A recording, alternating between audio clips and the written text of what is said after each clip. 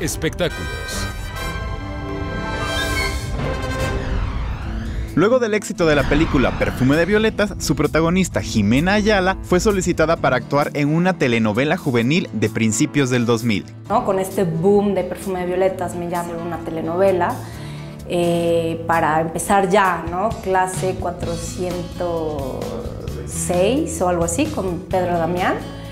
Y al mismo tiempo yo estaba preparando un viaje a Francia para ir en busca de mi escuela de teatro y pues les dije que no. Además de la actuación, el diseño de arte para cine es otra de las pasiones de la actriz. Voy a Francia, estoy tres años allá en una escuela maravillosa que se llama Jacques Lecoq y dentro de esta escuela maravillosa eh, también estudio vestuario y escenografía en, en, otra en un apartado que tiene que se llama Laboratoire d'études du mouvement, que te prepara como actor para, para hacer vestuario, para hacer iluminación, para para abordar los objetos como, como personaje. México y pues con todas estas ideas y, Marisa me invita a ser eh, La Niña en la Piedra y le platiqué, le dije, oye, pues estoy pues también con esta onda de hacer diseño de arte, decoración y, salió de ella, me dijo, oye, ¿no te gustaría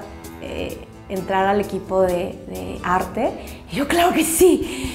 Y, fue fabuloso, ¿no? Porque pude entrar a la película desde la preproducción. Para la cinta Desierto Adentro, la ganadora del Ariel interpretó un personaje de época que requirió una preparación especial. Pues a mí me gusta trabajar la época a través de fotos, muchas fotografías.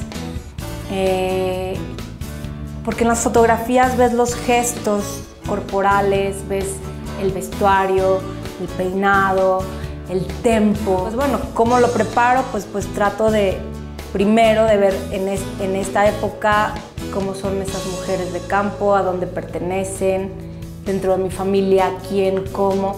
indagué mucho en mi familia, este, con mi abuela, absorbí mucho como de las fotos de, de, mi familia eh, para crear ese personaje de cierto adentro. Leer también, leer sirve porque pues, te contextualiza, ¿no? Mena Yala nos revela cómo preparó su personaje de Matilde para la cinta Malos Hábitos. Al principio me peleé mucho con él por, por esta cuestión. Yo, yo, no creo en Dios en el sentido como lo, lo genera la, la, la, religión católica.